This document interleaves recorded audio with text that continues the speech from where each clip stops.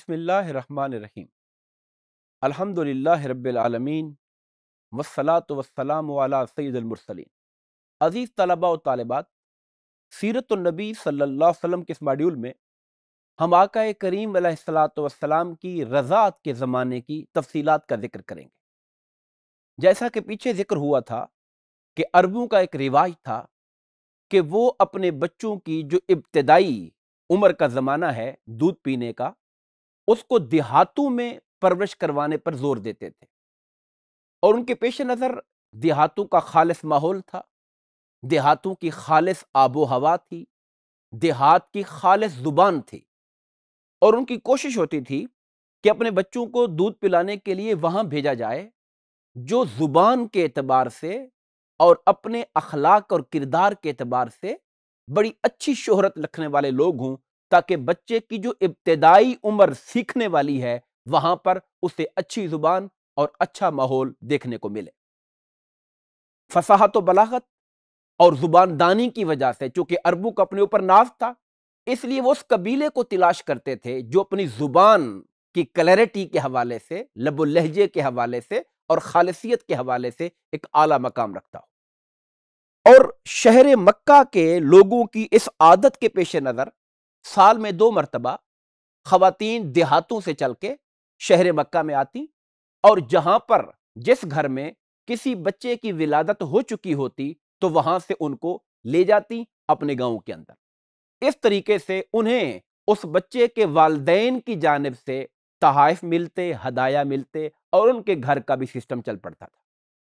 जिस साल हुजूर नबी करीम सलाम पैदा हुए, उस साल भी मुख्तलिफ़ किस्म की जो औरतें थीं, देहातों से चली।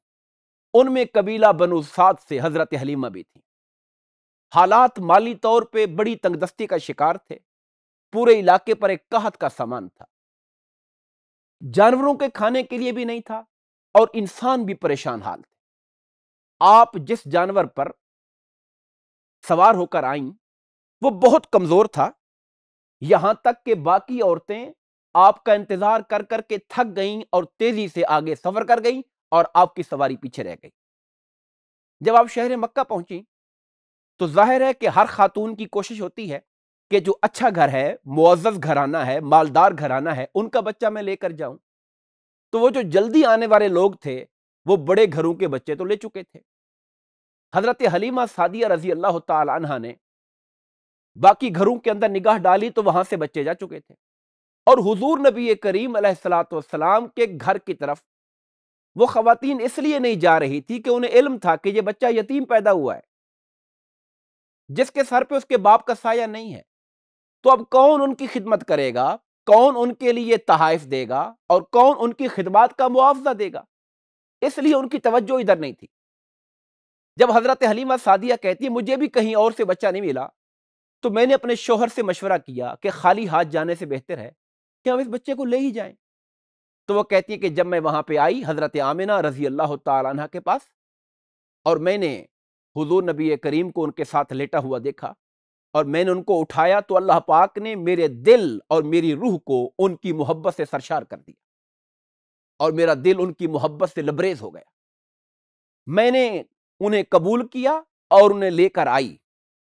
जब मैंने हुजूर नबी करीम सलाम को अपने सीने से लगाया तो मेरे सीना जो दूध से खाली था और मेरा अपना बच्चा प्यास की वजह से और भूख की वजह से बिलकता था, जब मैंने हुजूर नबी करीम को सीने से लगाया तो मेरा सीना दूध से भर गया। नबी करीम सलाम ने भी अपनी ख्वाहिश के मुताबिक दूध पिया, मेरे दूसरे असल बेटे ने भी दूध पिया, फिर हम सवारी पर आए और वो सवारी जो आते हुए सारे काफिले से पीछे रह गई थी। अब वो इस अजीम हस्ती के अपने ऊपर तशरीफ़ फरमा होने के बाद फर्राटे भरते हुई जा रही है। और वो खातन जो मक्का से पहले निकल चुकी थी, उनको भी तेज़ी के साथ क्रॉस करते हुए आगे निकली। वो खातन और काफिले वाले पुकार रहे हैं कि, हलीमा, तुम्हारे पास ये सवारी कहाँ से आ गई? तुमने सवारी बदल ली कि पहले तो ये तो बिल्कुल मरियल सी थी, चल नहीं पा रही थी, कमज़ोर थी। और अब इतनी तेज़ी के साथ तुम जा रही हो, क्या सवारी बदल ली? उन्होंने कहा, नहीं नहीं, सवारी मेरी वही है। और ज़ुबान हाल से ये कह रही थी, हकीकत में इस सवारी पर सवार वो आया है, जिसके आने से हर शय के अंदर बरकत पैदा हो गई है।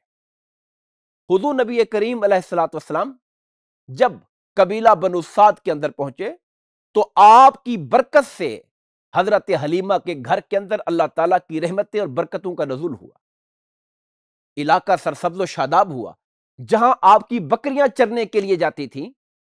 वो बकरियों के लिए अल्लाह की तरफ़ से घास मिल जाता था, जबकि कबीले के बाकी लोग भी वहीं चराने को भेजते थे। उनकी बकरियाँ भूखी आती, मगर हज़रत हलीमा सादिया की बकरियों का पेट भरा होता था। लोग अपने बच्चों को और नौकरों को डांटते थे कि वहाँ जाके क्यों नहीं चराते? जहाँ से हलीमा की बकरियाँ चर के आती हैं, मगर वो जानते नहीं थे कि ये जो ऊंटनियों के पेट का भरना है और ये जो बरकतें हैं, इसका ताल्लुक जगह के साथ नहीं है, इसका ताल्लुक उस हस्ती के साथ है जो हज़रत हलीमा के घर में आके रौनक अफरोज हुई है। हुजूर नबी करीम सलाम की रजात के दो साल बड़ी तेज़ी से गुजर गए। वापस करना था, मगर हज़रत हलीमा और उनके शोहर की शदीद ख्वाहिश थी कि हमें ये बरकतें समेटने के लिए कुछ वक्त और मिल जाए। आपको शहर मक्का लेकर गई। बाई चांस वहाँ पर भी कोई वबा, बीमारी आई हुई थी। इधर इन्होंने अपनी ख्वाहिश का ज़िक्र किया तो हज़रत आमिना रज़ी अल्लाह तला राज़ी हो गई, कहा, चलें, ठीक है, आप इनको ले जाएँ। हुजूर नबी करीम सलाम को लेकर हतलीमा वापस आ गई।